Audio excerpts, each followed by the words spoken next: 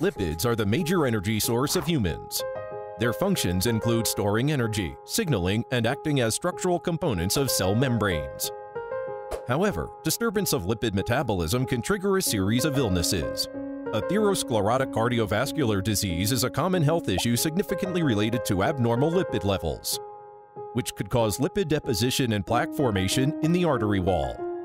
Some patients may eventually develop life-threatening diseases such as myocardial infarction and ischemic stroke. A full lipid profile test is helpful to assess the risk of ASCVD.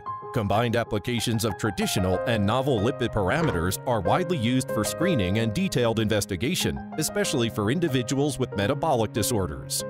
There are different types of cholesterol due to the structures.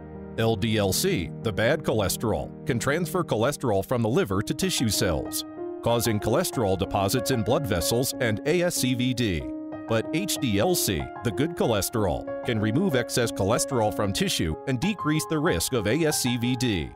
Total cholesterol contains HDLC, LDLC, and VLDLC.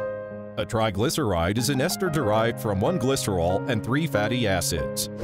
Increased blood triglycerides are a common metabolic issue potentially increasing the risk of ASCVD and many other conditions such as pancreatitis.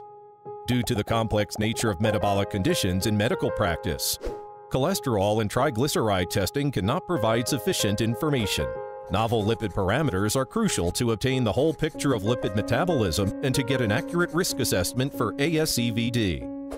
Apolipoprotein A1 is the major structural and functional protein in HDL, ApoA1 is essential for the atheroprotective functions of HDL.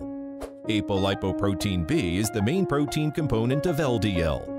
As each LDL particle carries one ApoB molecule, the plasma level of ApoB reflects the number of LDL particles in plasma. The ApoB-ApoA1 ratio is a predictor of myocardial infarction. Lipoprotein A is an LDL particle with an added ApoA attached to the ApoB component via a disulfide bridge. Lipoprotein A is a promising biomarker to help refine current strategies of ASCVD risk assessment. In clinical settings, lipid metabolism, which is essential for diagnosis, risk stratification, and therapeutic monitoring, is significantly related to a large number of illnesses such as hypertension, diabetes mellitus, hyperlipidemia, chronic kidney disease, thyroid disease, acute pancreatitis, etc. Mindray provides a reliable lipid panel to assist in the accurate and thorough assessment of lipid metabolism and to reveal the risk for ASCVD.